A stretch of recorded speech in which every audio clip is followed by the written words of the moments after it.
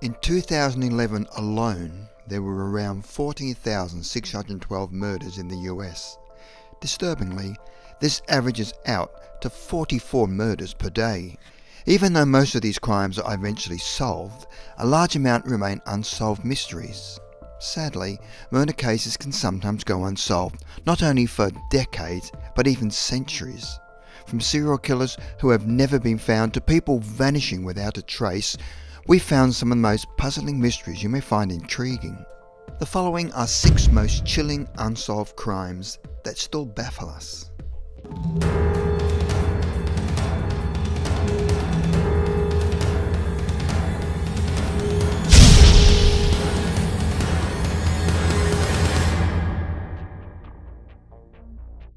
Number 6. The Lead Mask Case The bodies of Manuel Pereira de Cruz and Miguel Jose Viana were discovered by a Brazilian boy while flying a kite in 1966. Mysteriously, the men were dressed in their best suits and wore lead masks on their faces. The police were baffled as violence did not appear to be the cause of the deaths of the two men. More mysterious, a notebook was found with the bodies. However, it only raised more questions than answers. According to the notebook, the two men were to meet at the location, take capsules, put on the mask, and wait for an event. It was unclear as to what the two men were expecting to happen. However, analysis showed the lead masks were designed to protect against radiation poisoning. Bizarrely, one of the men also had a coupon to return the water bottle they were using, which indicates that the two men were not planning to commit suicide. Due to the body's decomposition, it is impossible to tell whether or not they were poisoned. Many questions still remain about this case. What were the two men waiting for? And more importantly, how and why did these men die? The case is still unsolved. Number 5. The murder of Trevon Wynn.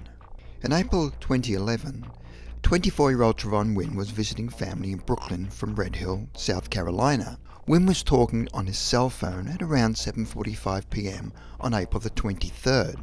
While waiting outside his cousin's restaurant for a ride, a mysterious man walks past him to go into the restaurant. This unknown man walks back out into the street moments later and he then approaches Wynn, pulls a gun and fires two shots from point blank range. Wynn was quickly rushed to hospital after witnesses called 911. The father of one tragically succumbed to his injuries. Wynn's family believe Wynn was killed over a case of mistaken identity, as he did not live in the area and didn't know anyone in Brooklyn besides his family. Due to the random nature of the execution, it has made it an incredibly difficult crime to solve, and no one has ever been arrested for the murder. Number 4. The Tamam Shud Case a man was found dead on Somerton Beach in South Australia in 1948. The mysterious man was carrying no identification and there was no dental record match. Even though no trace of any poison was found, the autopsy suggested that it was poisoned.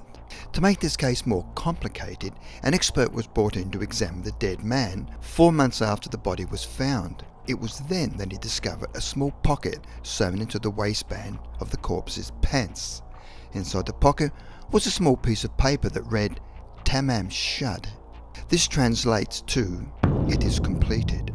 And these are the last words of the poetry collection, the Rubaiyat of Omar Khayyam. The scrap of paper has been torn from a copy of the book that was in a car near the beach. That book held the phone number of a nurse and a coded message. Police are still yet to solve. After interviewing the nurse, she told them she'd given the book to a man named Albert Boxall. Thinking the identified man was identified as Albert Boxall, they discovered Boxall was alive and well. Even more bizarrely, he still had the book the nurse had given him, with the last two words still in it, not torn out. Another lead eventually led detectives to a mysterious brown suitcase which had been deposited at the Adelaide railway station's cloakroom months earlier. It was found that the label had been torn off of the suitcase to hide its origin.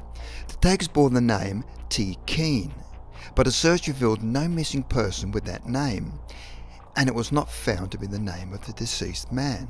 More bizarrely, in the suitcase was a stencil kit that had been used for stenciling cargo on merchant ships, a table knife that had been sawn down, airmail cars indicated he was sending communications abroad, and a coat with stitchwork identified as American in origin. These items indicated someone who had travelled, most likely on a merchant vessel, but shipping and immigration records revealed no leads. To this day, no explanation has ever been given. However, some believe the identified man was a spy. Number 3.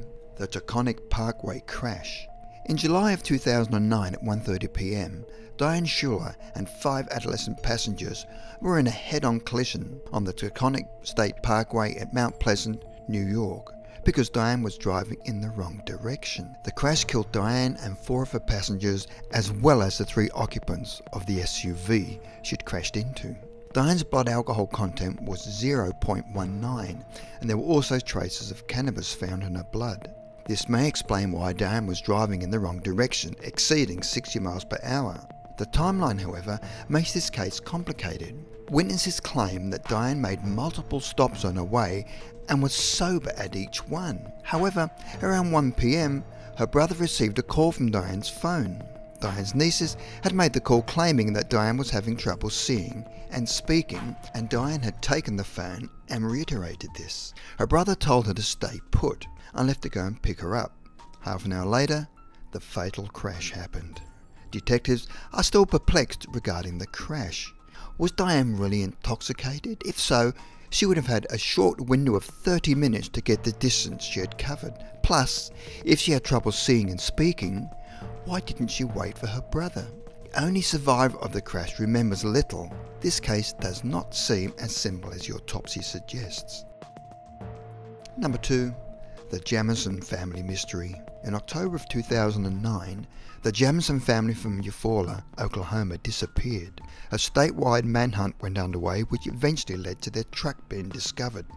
The dog was found nearly dead from lack of food, along with their IDs, phones, wallets, and, mysteriously, $32,000. It wasn't until 2013, five years later, when the family's bodies were found by two deer hunters, three miles away from where their truck had been. Skeletal remains of two adults and a child were found lying, side by side, face down in the dirt, and anthropological and forensic pathological testing positively identified the remains as the Jamison family. However, they were so badly decomposed that a cause of death could not be identified. Many speculations are being thrown around from the involvement of a Mexican cartel, a meth deal gone bad, to even satanic cults. We may never know the answer. Number 1. The disappearance of Dorothy Scott. In 1980, a Californian woman by the name of Dorothy Scott started receiving calls at her work from a man who claimed to be in love with her. Disturbingly, the unknown man would alternate between expressing his love and threatening violence. Stating he was following her, he would provide details that would support his claim. On May the 28th, the situation reached a tipping point when Dorothy drove a co-worker to the emergency room. After her co-worker later left the hospital, she started seeing Dorothy's car veering erratically, speeding in the opposite direction. Sadly, her car was later found, burned, with no sign of Dorothy. Four years after Dorothy's disappearance, her family received calls from an unknown source claiming to be holding Dorothy. A local radio station also received a call from a man claiming to have killed her.